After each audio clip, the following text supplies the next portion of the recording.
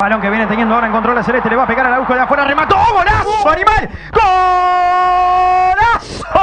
gol,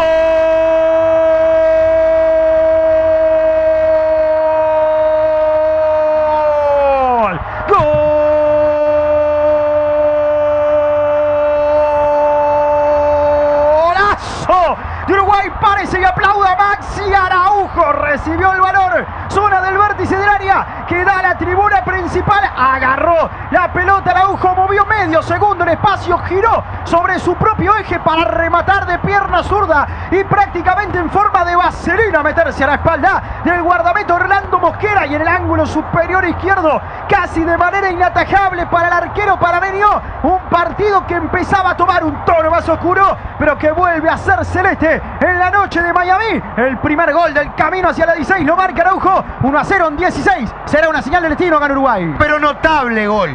Espectacular gol. Es más, me va a hacer acordar este gol al que hicimos en el Mundial de 2002.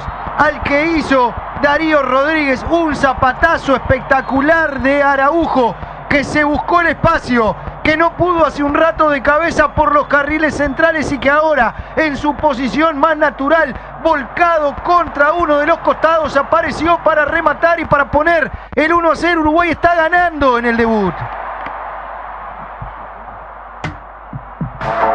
La Copa América en vivo en redes. Arroba Fútbol Club UI. Lo primero, el ingreso de Bentancur era un rato antes. Lo otro, la cara de Valverde habla claramente de que no fue un buen partido del capitán celeste y que no está conforme con lo mostrado en el debut. Aquí la va teniendo Uruguay, pelota que va encabezando otra vez en ataque Darwin Núñez, Darwin Núñez que la va tocando. Para donde se encuentra Nicolás de la Cruz, viene el centro pasado para Araujo de cabeza, balón que rebote, Darwin, gol, gol,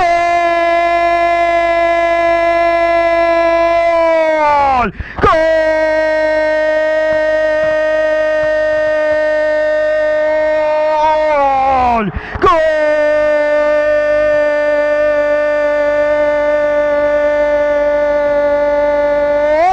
uruguayo, Darwin Núñez, tuvo una, tuvo dos, tuvo tres, tuvo cuatro, no le salía nada, parecía que no era la noche del 19 y sin embargo, tras un rebote, una volea terminó fulminando el palo derecho de Mosquera para que Uruguay se lleve sufridísimos tres puntos en esta primera jornada del grupo C de la Copa América. Tanto fue Darwin, tanto no se le daba.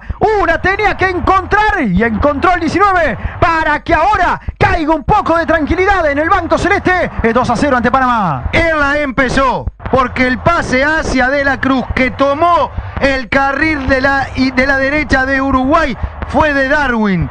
Él acompañó tras el centro de Nicolás de la Cruz. El cabezazo fue del número 20 Araujo. Quedó un rebote. Y como 9, como 9, como lo que juega. Apareció para sacar el remate, para marcar la ventaja, para poner los goles. Tranquilos, que la 9 tiene dueño y está bien. La Copa América en vivo en redes. Arroba Fútbol Club UI. 46 son los minutos que tenemos del segundo tiempo. Va a ir por arriba el equipo uruguayo. Son 1, 2, 3, 4, 5, 6 voluntades. ¿Por qué no? Buscamos lo que puede ser el tercero. Viene el centro. ¡Cabezazo! ¡Gol! ¡Gol!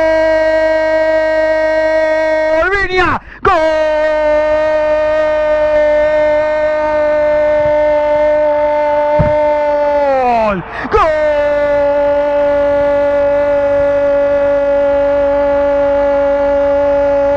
Uruguayo.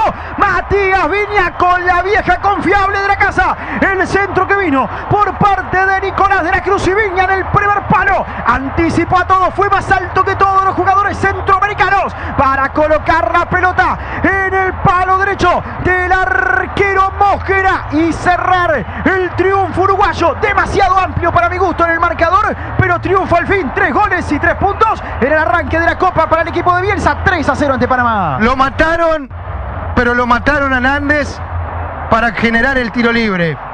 Lo tomó de la Cruz y fue espectacular. Un centro genial. La entrada de atrás del futbolista de Uruguay. La entrada de atrás de Viña para hacer algo que está acostumbrado, que es ganar en las alturas de cabeza. Y marcar un tanto. Uruguay gana 3 a 0.